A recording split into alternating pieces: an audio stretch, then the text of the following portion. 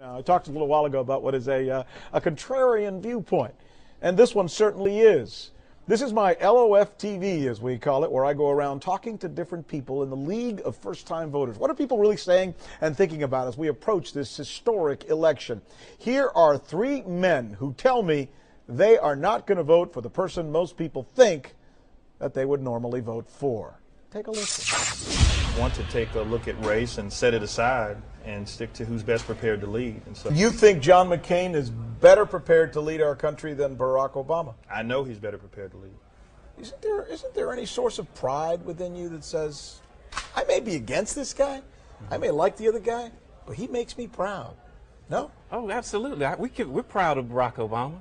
There, there are millions of children that look at him as a black man and say, "Wow, I can be a, I can become a nominee to a major party. There's the potential to be president of the United States." Yes, we celebrate that. But see, but you get, would say to those children, "Don't vote for him."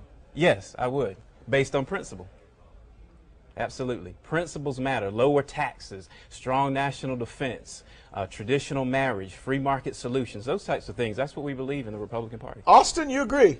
I agree very much so. Um, we're very proud of Barack, even though he's done a lot of good and everything. But you still have to look at it from principle aspect. Uh, you want to vote for the best candidate. Uh, McCain's proven.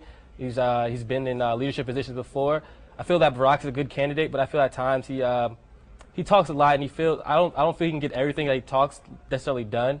I feel that he's just um, just like a motivational speaker at sometimes. But I really I really think that uh, that it being a Republican is the way to go. Is there anything that you guys feel at times from uh, your friends or your family that make you feel pressure.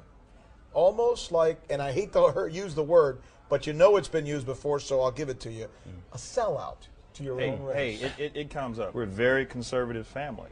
But when it comes to the issues, I start with, with questions that tend to bring silence, like if Democrats are for the poor, why are people still poor? And you can hear the silence in the room. Uh, who will best serve as leader of this country? Do you want a steady hand in times of crisis and need, or do you want to go with the unknown? With McCain, you may disagree with him, but you know where he stands. I'm not so sure you have that from the other side. There's going to be a lot of bashing comes with it, but you have to you have to take it and you have to know where you stand. It doesn't really hurt. It just I mean, I wish they got to got to got to feel me and get my own opinion on politics. Just because Obama's and I have a lot of people just because he's black, they're voting for him. And I feel that that's not that's not right. My friends and family and I, we've had debates, we've had conversations, but there's never been any disrespect.